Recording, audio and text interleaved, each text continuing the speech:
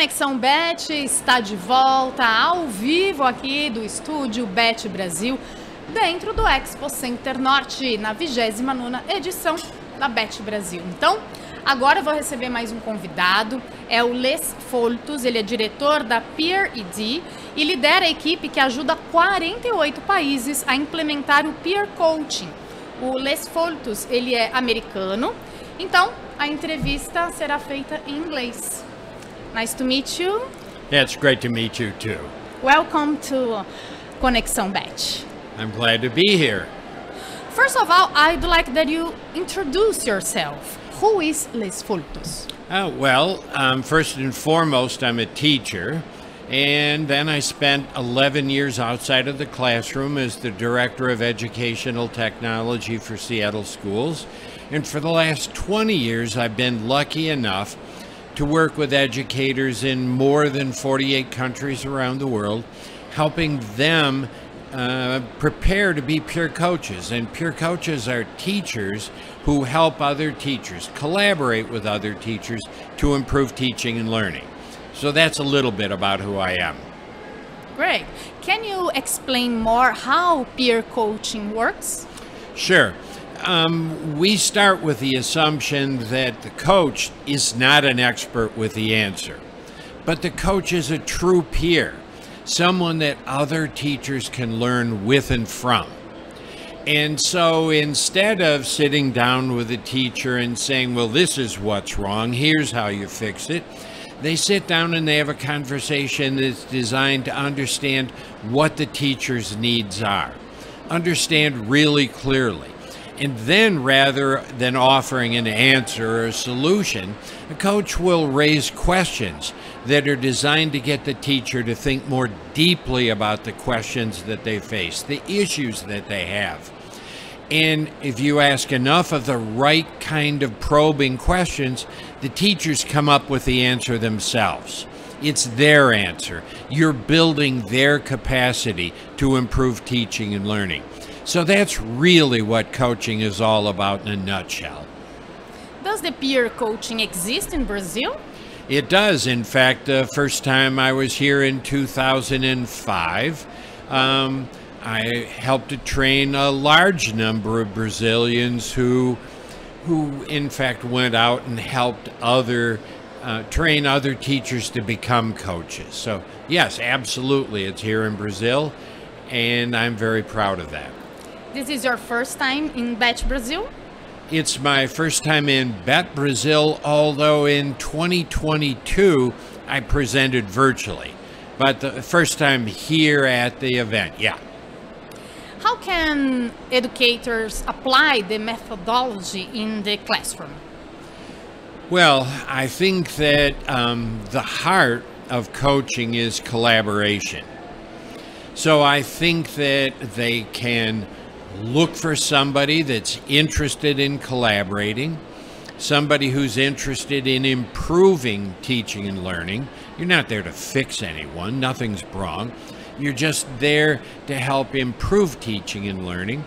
And then you're probably going to find out that it's a personal or professional friend. When you sit down, you want to have a conversation with them about their classroom, what they like what they're doing, what they'd like to improve. Once you get to the point where you have that conversation about what they'd like to improve, then you have this natural relationship to begin talking about how to improve, specifically how to improve teaching and learning, and make learning more powerful, more active, more engaging for students. Let's talk about your speech in Bett Brazil today. Um, it is about wisdom, right? Well, it's um, a funny title, and it's all about the wisdom of teachers learning from one another, the value and power of teachers learning together. Teachers always tell me, we learn better together. In your opinion, uh, is the school the best place to acquire wisdom? Schools are a perfect place to acquire wisdom, but as we know, um, students never stop learning. Yeah, and they're only in school a short period of the day. So what we want is that they keep learning all the time. And what we really want to do is make sure that what we do in the classroom ties in with their learning outside of school, their interests, their experiences, what they care about. If we can do that, learning is more powerful. Can you tell us other ways uh, we um, have to be wise? Other ways, excuse me, other ways what? To um, we can be wiser. I think that um, these skills, um, either on the part of students or on the part of teachers, can be acquired through um, just working together and asking yourself. One of the questions I'm going to ask participants today is what's the best professional learning you've ever participated in? And what made it powerful. And what they're likely to say is we love learning with and from other teachers. We like breaking down isolation. We like the chances to collaborate together. That's the kind of climate we have to create in schools and the kind of climate that would be good for students who are trying to learn outside of school. There is a specific age to acquire wisdom. I hope not.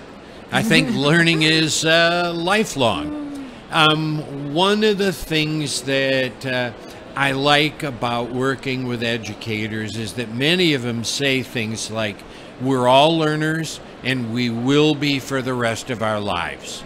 That's what we want. Because life's changing rapidly around us careers are changing rapidly. The economy's changing rapidly. If we're not lifelong learners, we're going to be left out. Can you give us more tips to earn wisdom? Well, I would say that what I talk to teachers about is this. You really want to make sure that you're trying to learn as much as you can about your students, understand as much as you can about your students, and then make sure you connect the learning activities that you're offering students with their experiences outside of school. I once worked with a, a grade four teacher in Portugal.